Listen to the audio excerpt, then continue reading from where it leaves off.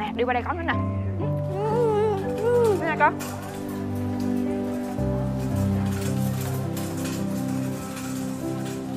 Sao lại ăn đồ chưa tính tiền? Vậy là sao hả chồng? Dạy con như vậy Thật là kỳ cục quá. À. Bin Con phụ ba Chất cái này lại đi con. Không phải con làm Con không xếp đâu Đồng ý là mình không có làm Nhưng mà cái này mình thấy bề bộn Trong khả năng của mình có thể sắp xếp gọn gàng được Mình cứ làm chứ con Dạ. Phụ ba tay đi. Ừ Để đây.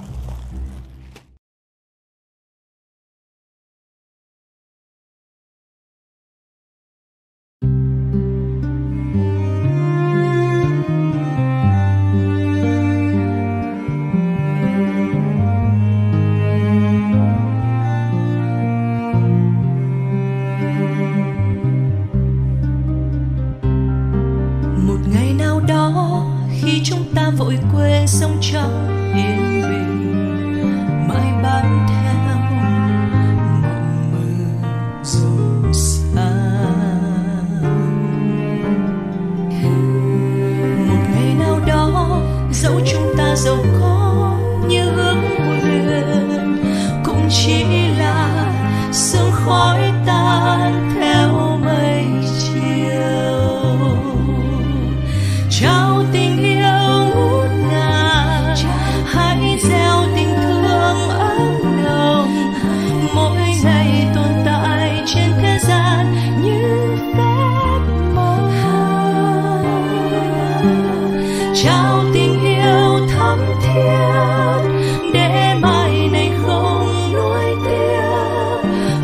say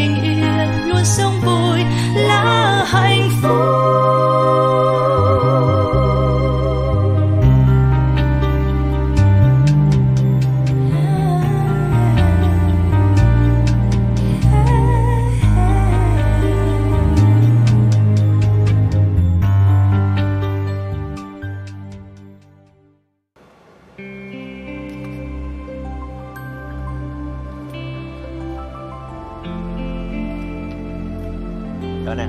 Dạ. Sao mình phải đi siêu thị nữa vậy? Em muốn mua thêm vài thứ nữa cho con mà chồng. Mua nữa hả? Dạ. Mới hôm qua em mua nguyên một xe đầy rồi đó.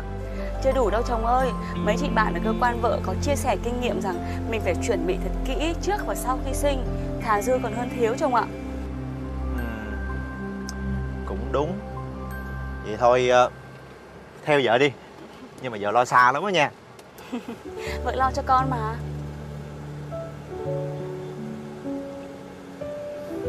Mà đó, chồng cũng đang đọc sách tham khảo dạy con kìa. Trong khi còn hai tháng nữa con mình mới chào đời mà. Trời ơi Thì vợ biết chuẩn bị cho con. Chồng cũng phải chuẩn bị cho con chứ. Chồng đang chuẩn bị kiến thức. Chồng có làm cha hồi nào đâu mà biết.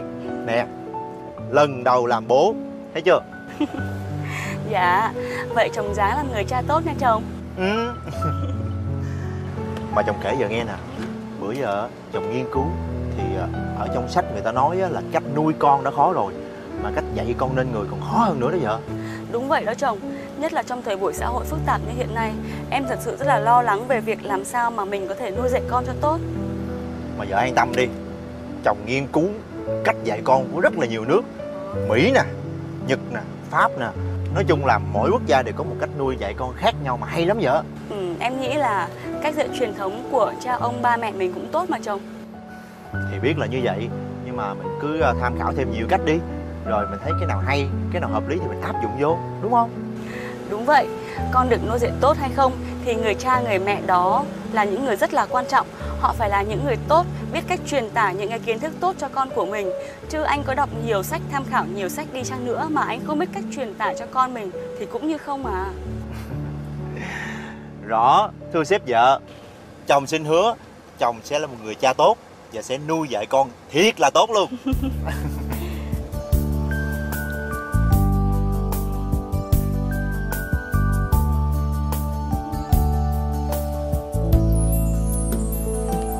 Này. Cái này dễ thương quá à.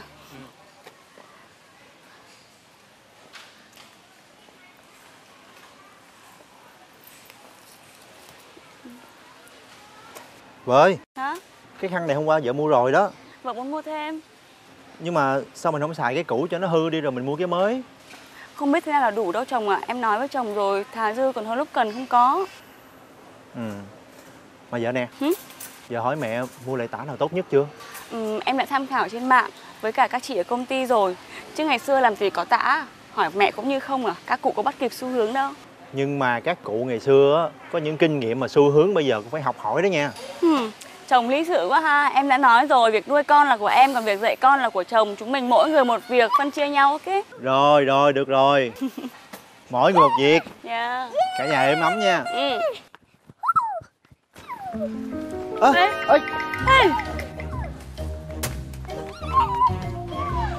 Em có sao không? Không sao. Con có sao không con? Con đang đạp kìa Con trả lời mình đó. Sam, con đâu rồi Sam ơi? Sam ơi! Ây da. Ờ, xin lỗi nha.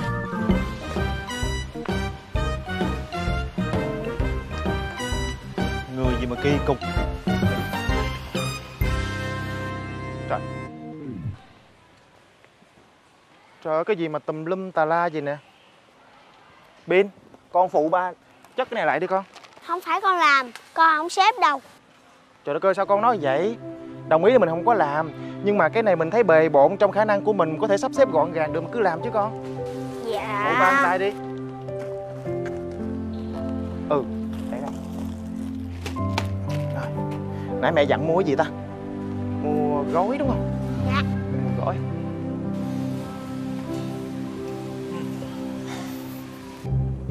Ngon không con? Ngon. Ừ, ngon hả? Vậy lát nữa mẹ mua thêm cho con ăn nha. Dạ. ừ. Ừ. Ngon quá ta ừ. Ăn thêm đi, ăn thêm đi Ngon ha Nè, đi qua đây có nữa nè. Đây nè con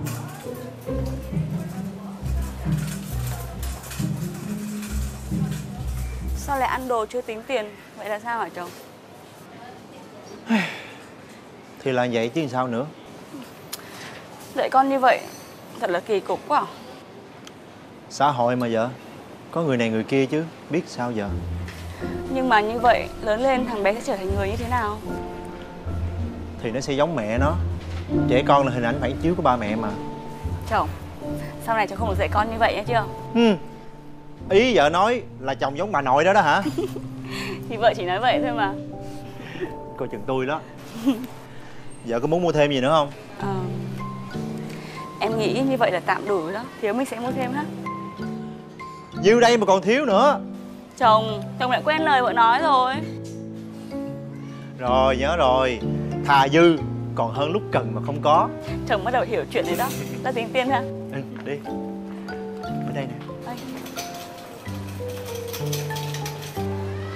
Cẩn thận đi từ từ thôi vợ Hôm nay ngày thường mà cũng đông quá ha chồng ha. Ừ. Nhưng mà chắc là có ưu tiên cho phụ nữ mang thai đó. Vậy hả? Chồng hỏi thử con xem sao Ừ để lát chồng hỏi thử ha.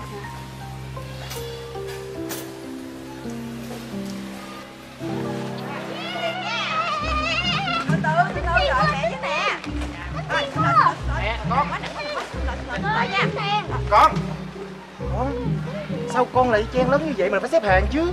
Nhưng bạn kia cũng chen lớn lên mà. Ờm, Bạn kia chen lấn thì kệ bạn đó Mình đừng bắt chước theo như vậy. Theo đám đông đâu phải là đúng con. Con xuống xếp hàng con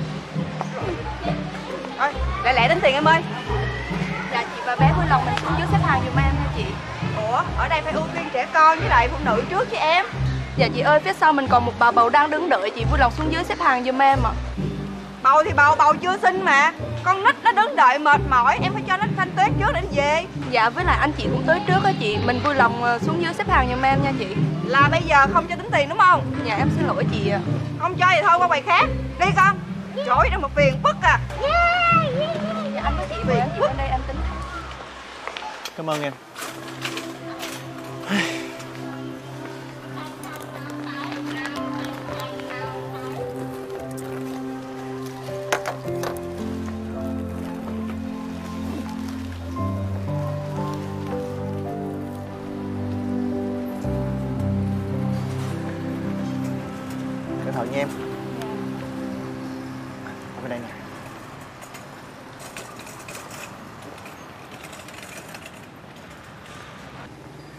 Em đợi xíu, anh đặt xe nha.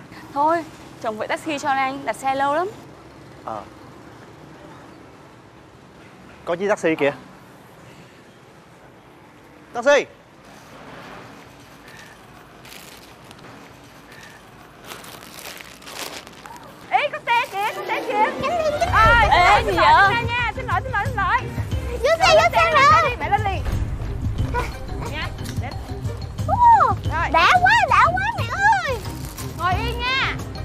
Còn ngoan nha. Ừ. Thiệt tình, hôm nay là ngày của mẹ con nhà đó hay sao vậy? Tạo nét hoài luôn hả? Mà nhà đó có duyên với gia đình mình hay sao em? Trời ơi, cướp trên vàng mướp của người ta luôn à. Mà có đúng một chiếc taxi đó thôi đó Anh không thấy chiếc nào nữa hết. Chắc chỗ này khó đậu á chồng. Thôi chồng kêu chiếc khác đi. Hồi nãy em nghe lời anh Đặt xe là bây giờ có xe rồi. Thôi mà. Bây giờ không biết chừng nào mới có xe đây. Rồi con nói xin phép cô chú đi. Xin phép cô, Cô chú ơi cho con qua. Đúng rồi.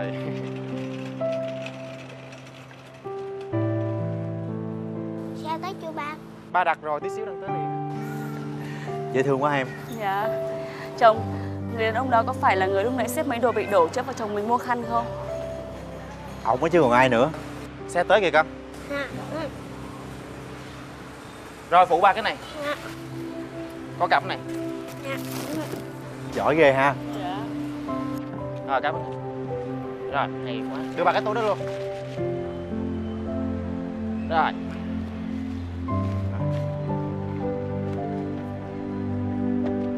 À, anh chờ tôi chút xíu nha.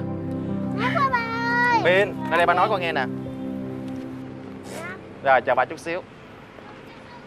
Con thấy xe của mình không? Chiếc xe bên kia nữa. Con phụ ba đem qua bên kia cất đi. Lại đằng kia hả ba. Ừ đúng rồi. Nhưng mà người ta cũng đâu có để ngay hàng đâu. Chuyện người khác liên quan tới mình đúng không? Nhưng vấn đề ba muốn dạy con á Là mình xài xong cái đồ dùng vật dụng gì Là mình phải có trách nhiệm với nó. Con hiểu không? Đi đi. Dạ nhưng mà vẫn có mấy nhân viên ra đây và để lại chỗ cũ mà Đồng ý với con đó là công việc của người ta Nhưng mà bên cạnh đó người ta cũng còn nhiều việc khác người ta làm mà. Bây giờ những người vô ý thức người ta để bừa bãi như vậy Rồi nhân viên họ phải tốn thêm thời gian họ dọn dẹp gì Họ vất vả hơn Mình phải thương họ chứ. Đây mình xài xong mình biết dọn Hiểu không? Dạ. Sao mặt bí xị gì? Thôi được rồi Để ba nói cho con nghe nè. Nè Con có thấy mấy cái ờ, xe đẩy được để ngay ngắn hình kia không? Dạ thấy. Trong cuộc sống mình cũng như vậy đó có hai dạng người dạng người thứ nhất á, là dạng người ý thức có trách nhiệm là những người được học về những quy tắc và những phép ứng xử cơ bản. Còn cái dạng người thứ hai á là dạng người vô trách nhiệm. Nè ví dụ như trường hợp đó có thấy không? Đồ đạc để lung tung rồi bừa bãi không có trật tự rồi không có nội quy không có quy tắc gì hết.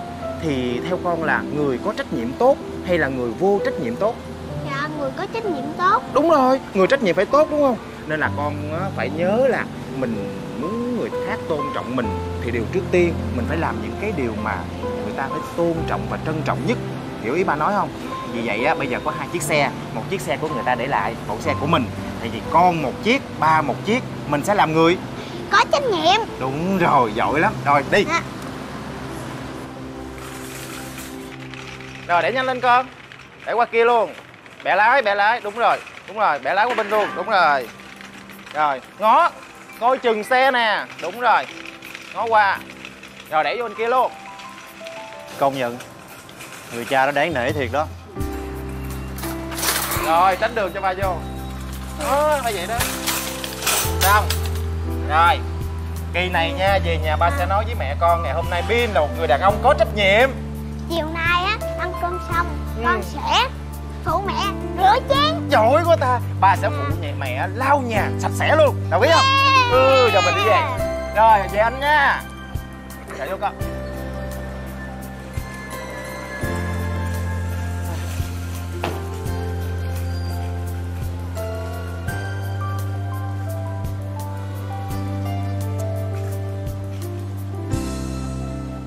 Chồng, em thấy chồng nên học hỏi cách dạy con của người đó Rất hay và thấm đó.